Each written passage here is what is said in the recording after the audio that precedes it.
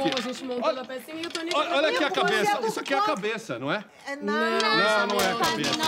Espera aí que estão batendo. Espera um pouquinho, só. Já vai, já vai. Você... Ô, ô, espera aí, ô, ô, mocinha, fique sabendo que não mora, mas aqui... Milagre! Eu levo o supapo! Bernadette, que surpresa boa! Que bom que veio nos visitar! Ah, Inácia, vamos buscar um pedaço de bolo para Bernadette. Bernadette, Ah. vamos jogar futebol? É, não, Tonico. Eu tenho um assunto importante pra falar com a dona mocinha. Deve ser importante mesmo. Pra nem querer jogar futebol.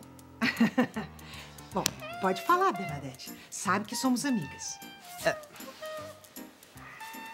Bem, é. Entre a senhora e eu. Entre você e eu. Sim. Bom, então é melhor nós irmos até o meu quarto, não é? Vamos. Vem.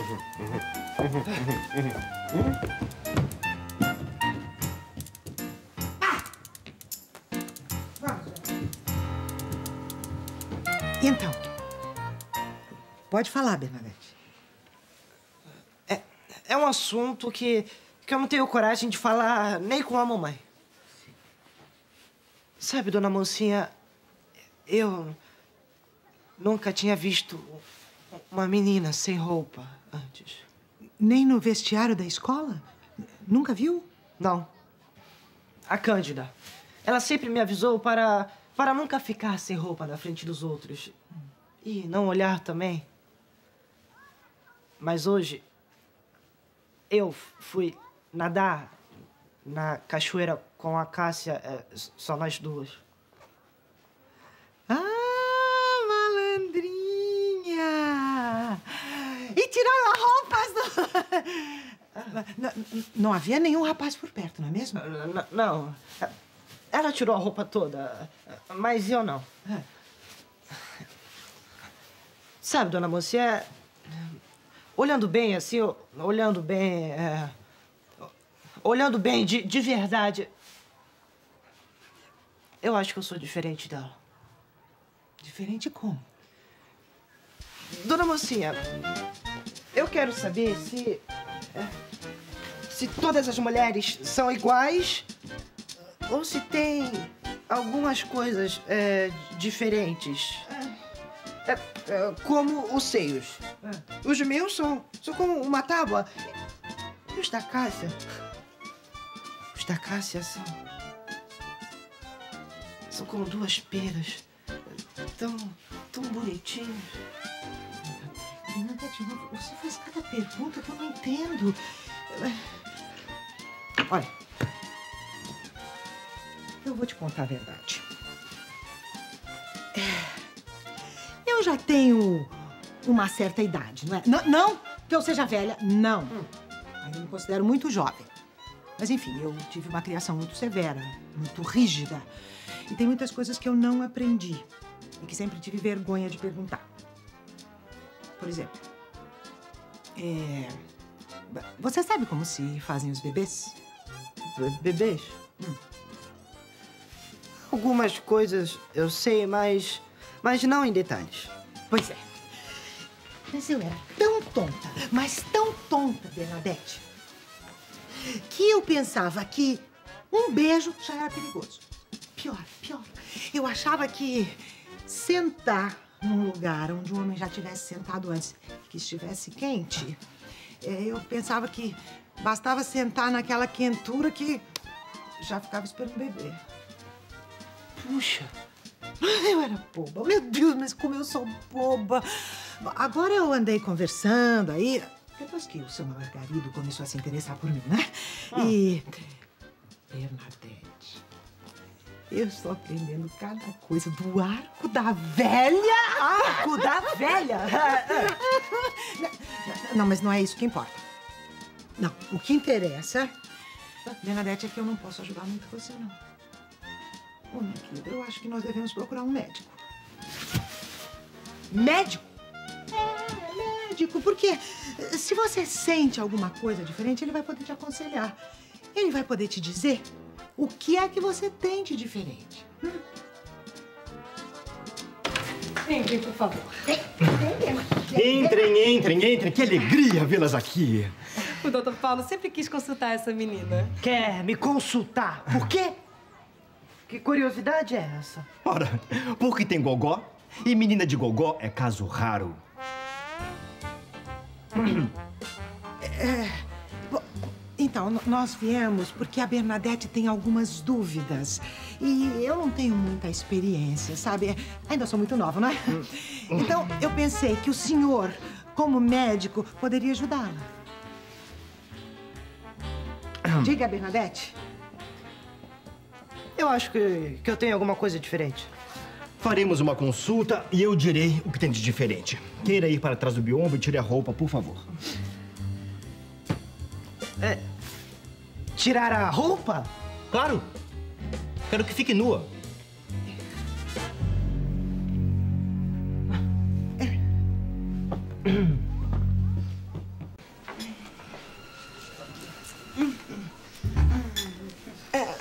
Querida Bernadette, venha conhecer minha família. Finalmente vamos noivar.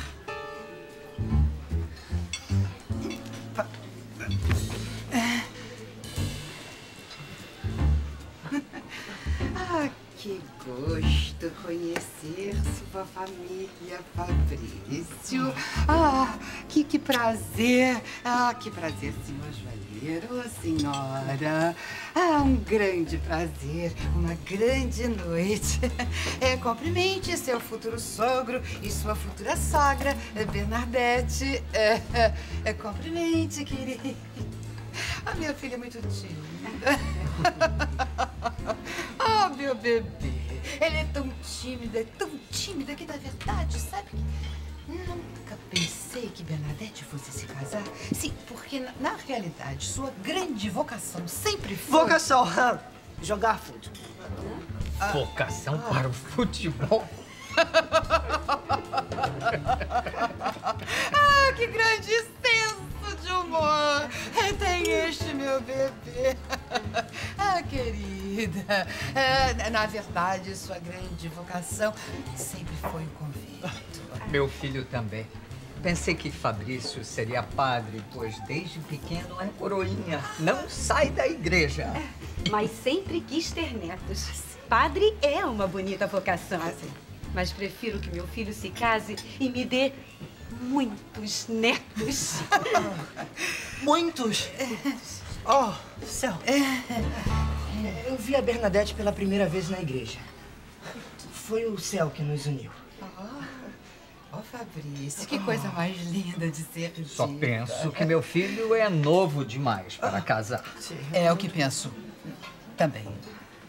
Ah, senhor Joalheiro, na verdade, me dói o coração. Me dói o coração saber que tem que me separar de meu tesouro assim, ainda tão jovem. Bem, mas já que está namorando, não é? Pois então é melhor que se case logo, porque uma, uma menina assim tão linda como minha filha oh, não pode ficar solteira por muito tempo. É melhor que se case depressa. Fabrício, você é muito novo. Mas se prometer me ajudar na joalheria, ficarei feliz em apoiar esse casamento. Eu trabalharei de noite, papai. Estou apaixonado. E a menina? Gosta do meu filho? Eu, na verdade, bom, Olha, é, na verdade, é, é, não deve fazer essa pergunta ao meu tesouro, porque é extremamente tímida. É capaz até de dizer que não gosta, só para não fazer feio. Ah, mas eu sou uma mãe eh, muito preocupada com minha filha e tenho analisado esse pequeno romance o tempo todo e, e vejo, vejo pelos olhos de minha filha que ela só pensa nesse casamento. É, não é, Bernadette? bem, Não é verdade, querida? bem, eu, eu não cons- consigo pensar em outra Pronto, coisa. a resposta está dada. Ah, minha querida. Ah, ah, Fabrício, vamos ao brinde. Eu abro o champanhe. Ah, Abra, abra, meu querido. Ah.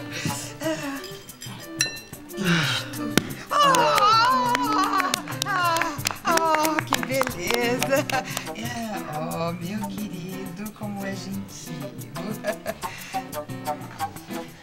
É, mas antes, eu quero oferecer o anel de noivado a Bernadette. Até Deixe-me ver. Um anel, minha querida. Ah, um solitário de diamantes. Ah, que beleza de peça. Veja, Bernadette. Bernadette, es- estique o dedo para que o Fabrício coloque e você. Eu não vou esticar o dedo. Coisa nenhuma. O quê?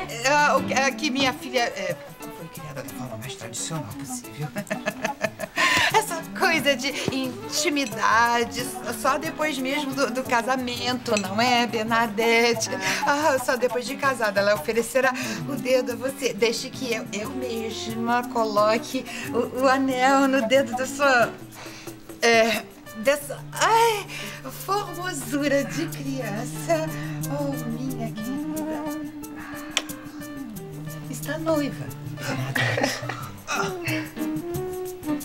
Noiva? Aos noivos. Aos noivos. Aos noivos. Ah, A minha amada Bernadette. é, Bernadette. Para!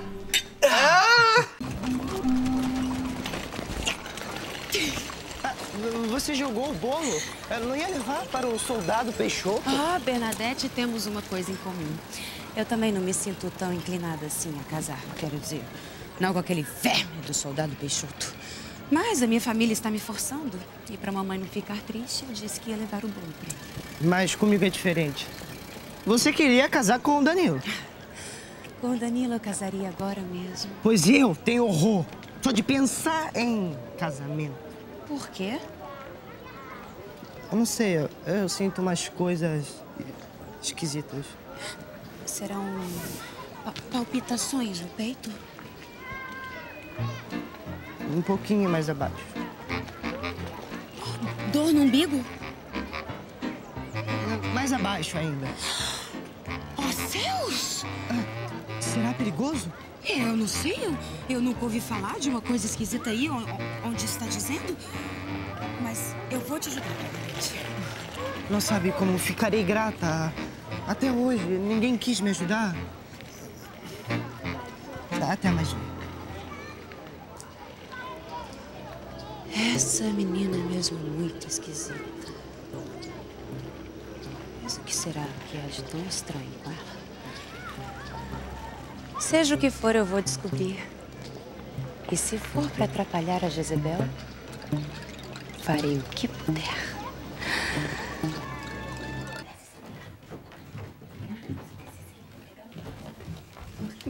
Olga, eu não vou te convidar para sentar porque imagino que seja uma visita rápida. Mas é claro que é rápida. Não temos mais nada que conversar agora que roubou o Danilo de mim. Se veio falar do Danilo, perdeu seu tempo. É, perdeu seu tempo, porque eu tô aqui e eu tenho muita experiência de vida, né? E eu e a Aninha, né, Aninha? Nós temos muita coisa para conversar, para discutir, de forma que não temos tempo para sua pessoa. Pois bem, eu não vim falar do Danilo e também não vim fingir que sou sua amiga, porque não sou. E minha maior qualidade é a franqueza. Na boca da senhorita, a franqueza vira até defeito. Credo. Será que alguém pode mandar esse urubu sem asas voar daqui pra fora? Epaminondas, por favor.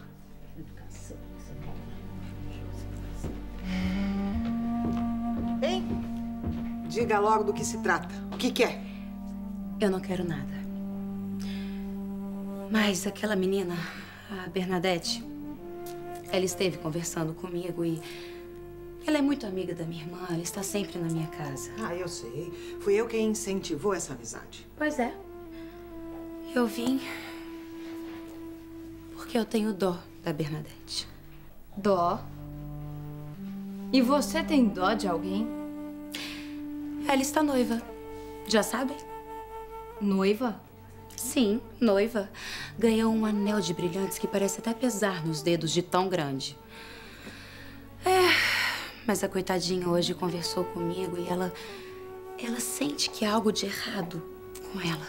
Ela já me falou que sente alguma coisa esquisita. E a senhora nada fez? Olga, você veio aqui pra me criticar? É. Não, eu vim aqui para ajudar. Porque eu sei que a Bernadette já morou nesta casa e que ela gosta de todas vocês. Ela vive falando na senhora, dona mocinha, embora eu não entenda que vantagens ela vê em ser sua amiga. Vantagem nenhuma. Somos amigas, nos gostamos. Que lindo. Mas e se essa coisa que ela diz ter, essa coisa esquisita, e se for muito grave? Ai, eu já tentei falar com a Jezebel, mas ela não me dá ouvidos, ela só sabe falar no casamento. E eu também não tenho tanta intimidade assim. Mas eu pensei, será que não é hora de descobrirmos qual é o problema da Bernadette? Pois vocês estão se intrometendo demais na minha vida. A Bernadette é minha filha, está noiva, vai se casar, portanto não tem motivo para ir ao médico. Não tem, é? E muito menos motivo ainda para andar com uma sirigaita como você, que é falada na cidade inteira. Sirigaita não! Sirigaita! Não discutam, não discutam agora, por favor. Eu estou com um problema e vocês têm de me ajudar. Pois muito bem, Bernadette. Olha aqui para sua mãe e me diga. Me diga, afinal de contas, qual é o seu problema, Bernadette?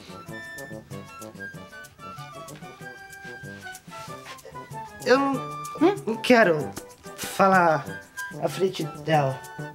Dela quem, Bernadette?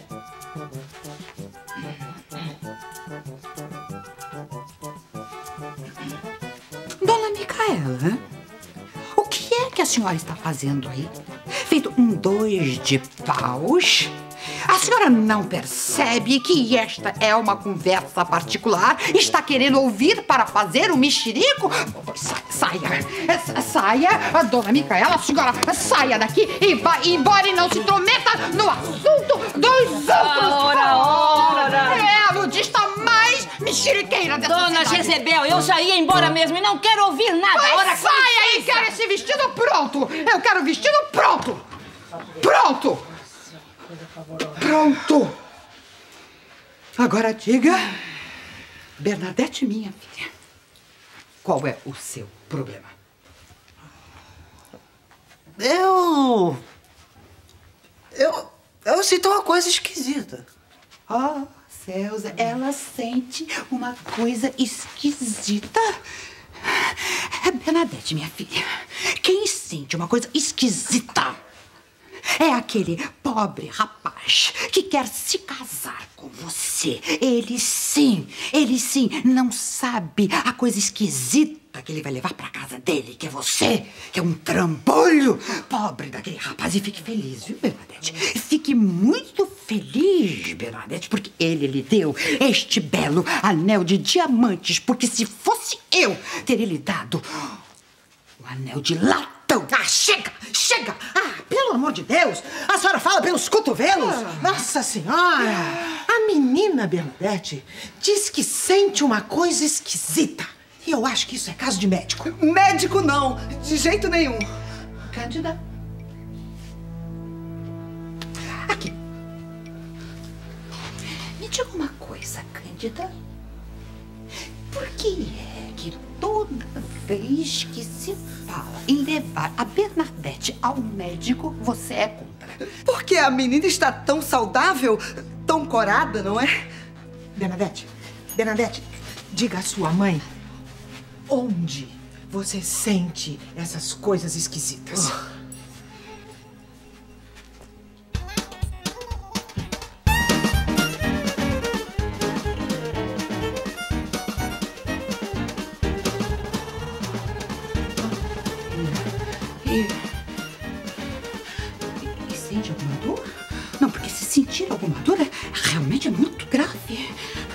Sente alguma dor nessa região? Dor! Dor!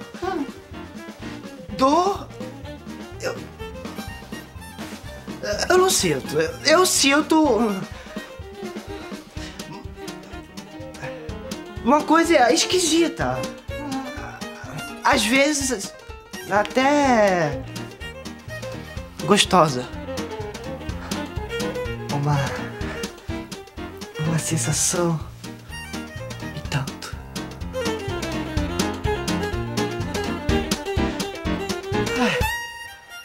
Abra os joelhos, Bernadette. Ah.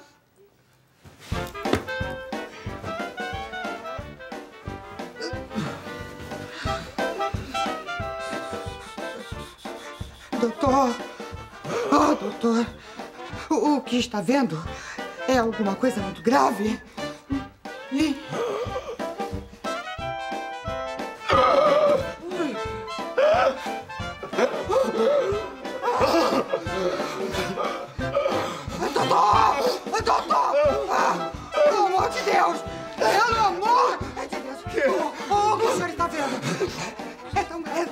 Grave assim? É, que impede o casamento de minha filha!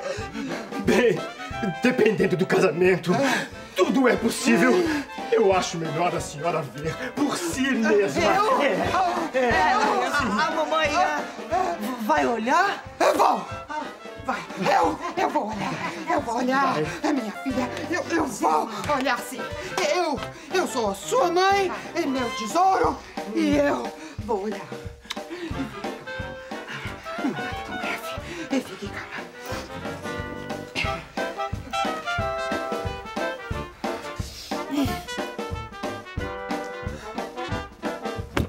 Dona Jezebel! Dona Je- Levante! Ajuda! Ah, Levante! Levante! Levante! Ah. Dona Eu Jezebel! penso, eu penso que, eu penso... Ah, ah, como Acalme-se! Acalme-se! Acalme-se! O que é que você tem? Eu vou olhar.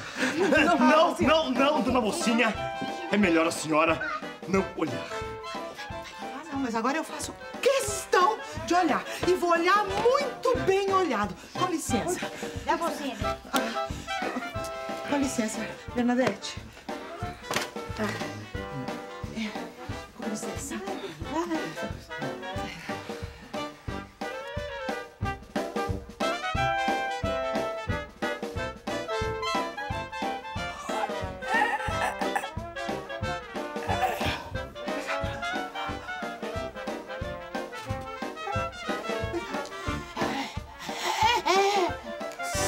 Dona mocinha. É. Eu nunca vi isso na minha vida. Lili! Lili! Ela Acuda, dona mocinha! Lili, Mas eu acuda! não disse! Mas também não era pra se assustar tanto, doutor! Eu posso olhar? Não, Lili! Você não pode olhar! Que curiosidade é essa?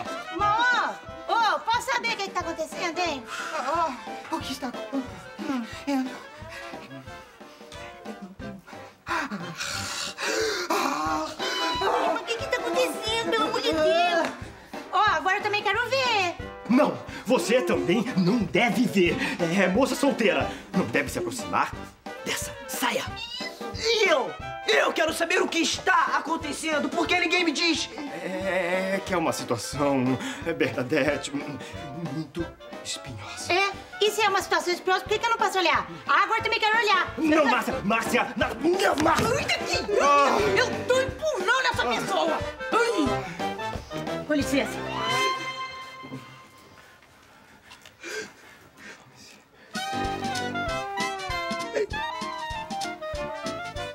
Ai.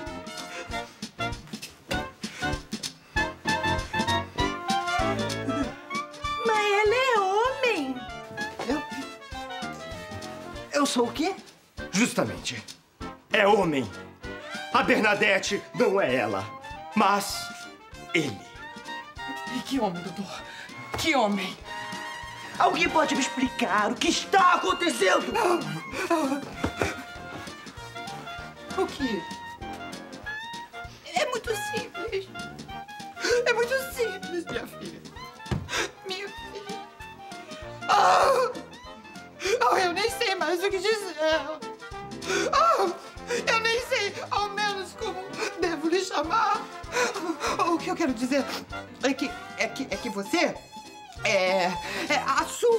Pessoa. É você.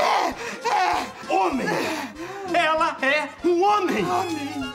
Essa coisa que você sentia aí embaixo das saias, Bernadette, e que achava tão esquisita, é o que todos os homens têm.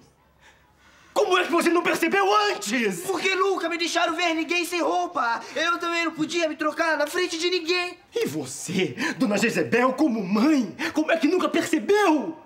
Ela. Ela nunca foi como uma mãe deve ser. Nunca me fez um carinho. Só me falava em, em, em botar no convento. Agora, trocar as minhas fraldas? Cuidar das minhas roupas? Nunca fez. Fala logo de uma vez, Cândida. Por que fez isso comigo? Onde? Fale! Fale, sua horrorosa desembuste! Bernadette! Bernadette, não! Não me chame de Bernadette! Você era meu filho. Seu filho? Já tinha dois anos. Seu pai tinha morrido e eu trabalhava de empregada. A dona Jezebel nunca soube que eu tinha filho, porque ela era o tipo de patroa que não aceitava empregada com criança. Essa! Imagine se eu aguentar o choro de filho de empregada dentro de minha casa. Então eu. Ai, Deus. Eu vivia com tanta dificuldade. O salário era tão baixo. Você queria viver no luxo, Cândida! Eu não tinha dinheiro para nada, nem para te sustentar. Quando ela disse que queria uma menina para criar como filha, então eu tive a ideia.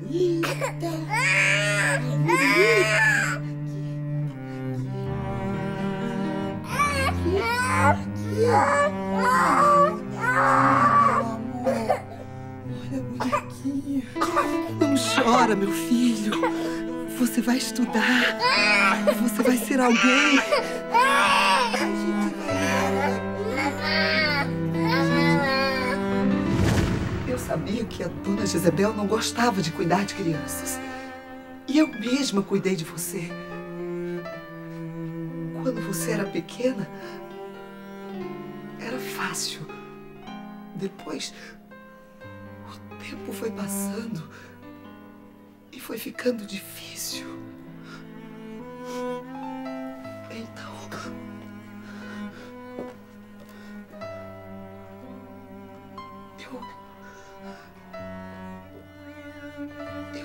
Na sua cabeça que você não poderia ficar sem roupa na frente de ninguém.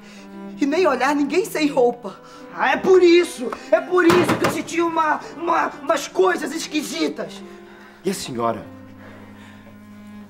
pretendia continuar com essa história até quando? Até quando o menino terminasse os estudos. Quando tivesse a possibilidade de ter uma boa profissão. De médico ou advogado. Até que pudesse entender. Quem sabe entenderia o meu sacrifício. Sacrifício? Cândida! Você me fez passar por ridículo! Me fez virar uma piada, me fez sentir estranha! É, que Quer dizer, estranho! Eu ainda tenho que me acostumar a falar de mim como homem. Porque eu sou homem. E gosto de ser homem. Me perdoe. O que eu fiz foi por amor. Por amor. Cândida, eu nunca, nunca vou te perdoar. Ai, Oi! Nossa, mas você ficou muito bem. Bernardo, você ficou um lindo rapaz. Ah, eu. Eu fico grato. Tenho certeza que agora vão terminar os seus medos, a sua sensação de ser esquisito, pode ter certeza. É, bem, eu mesma, se eu fosse uns anos mais nova, você não me escapava. Márcia? Márcia. Márcia, você tá falando feito uma sirigaita. Opa, é, tô sendo gentil. A Márcia às vezes fala umas coisas que eu fico até corada. E eu, eu também. Quieta! Não dá palpite. Olha, eu, eu ainda vou levar um, um certo tempo pra me acostumar, não é? Mas. Nós podemos ser amigos. Eu já te perdoei, Bernardo. Be- Bernardo. É, mas não abraça forte, não abraça, separa. Não abraça forte, não, senão mato. Vem. Olha, está tudo resolvido. A Cândida foi para casa de uma parenta. Que faça bom proveito. E eu vou cuidar dos papéis. Então, amanhã mesmo chamarei o alfaiate para fazer novas roupas. Ah, só tem uma coisa que eu quero fazer. Ah, Eu acho que hoje você pode pedir o que quiser. Nasceu de novo, rapaz. É como se fosse seu aniversário. Eu. Eu quero visitar a casa.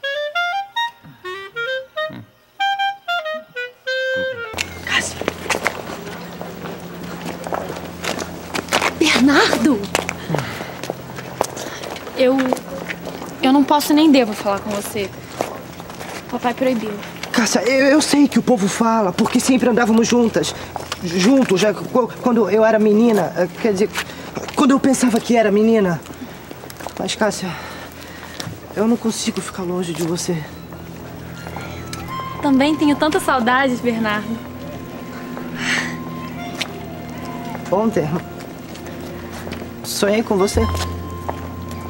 Eu também já sonhei com você. Eu tenho que ir. Se papai me pega, eu vou levar uma surra de cinta. Vamos nos encontrar escondidos. Na cachoeira? Ai, não sei se devo. Cássia, você sabe que eu te respeito muito. Por favor, eu, eu gosto muito de você. Amanhã. Mas não conte ninguém. Amanhã.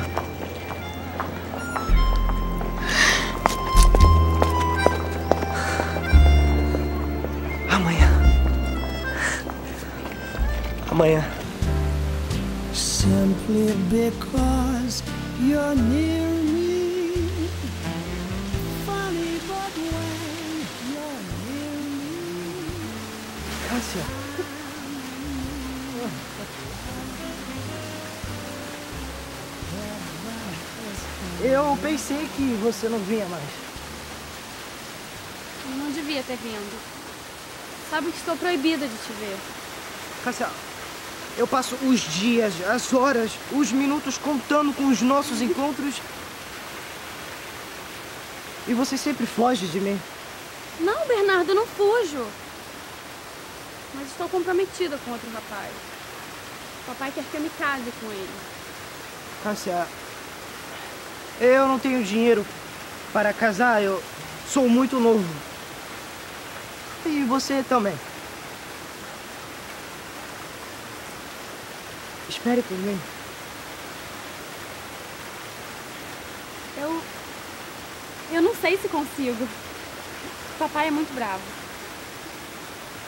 Espere por mim. Olha. Eu te amo.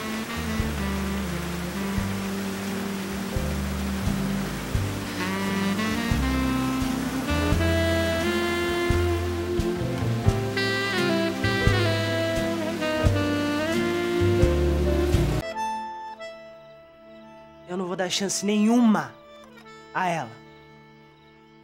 E por que não? Eu também errei. Eu. Eu era uma, uma moça pobre. Conheci um rapaz. Quando ele foi embora, descobri que estava esperando um filho. Uma menina.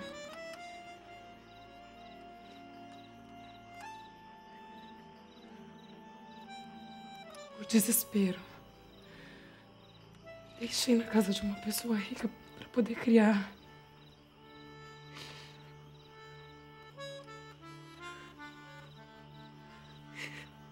Passei todos esses anos de longe olhando minha filhinha crescer, sabendo que não era feliz. Sabendo que sentia falta do amor de mãe. O amor que eu queria tanto dar à minha filha. Inácia, Eu não sabia. Eu não sabia como voltar atrás.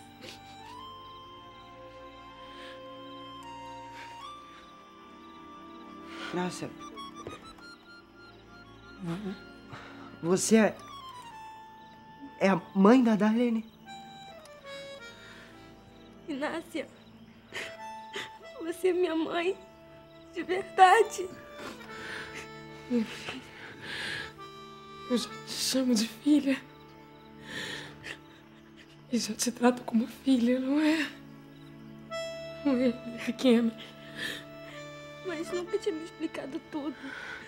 Você me deixou aqui na porta da casa.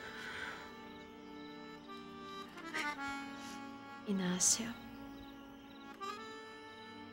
Eu bem que desconfiava. Por isso que eu deixei você ficar com a Darlene. Hum.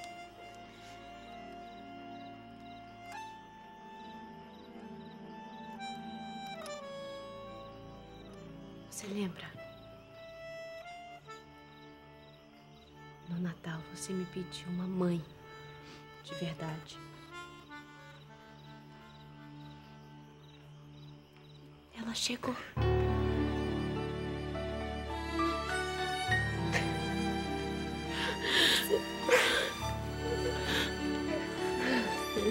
Que bom, que bom que você é minha mãe de verdade. Bernardo. Todos nós erramos. Eu errei, a Ana Francisca errou. Erramos sempre. Erramos sempre porque somos humanos, mas também temos uma capacidade imensa de amar. Bernardo, perdoe a sua mãe.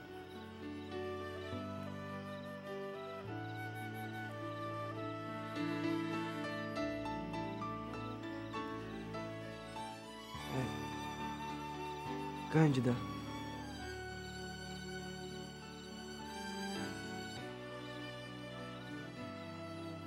Mãe.